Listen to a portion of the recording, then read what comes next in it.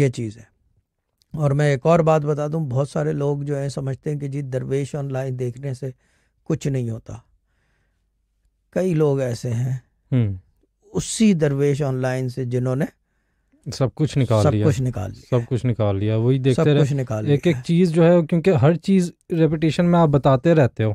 ये नहीं कि सिर्फ़ कॉलें हो रही हैं उसके अलावा भी जो है वो कुछ ना कुछ वज़ाइफ से रिलेटेड हो देखो गया मैं दो जगह सबसे ज़्यादा आपको मिलता हूँ। जी। कहाँ पे? एक तो लाइव लाइव और दूसरी जगह? दूसरी जगह कौन सी? ये तो हाल है इनका यार। अ, क्या कहते हैं फवारे वाली बाजी जरा सा पानी मारो मुँह पे इसके। दो जगह है मैं जहाँ सबसे ज़्यादा बैठता हूँ।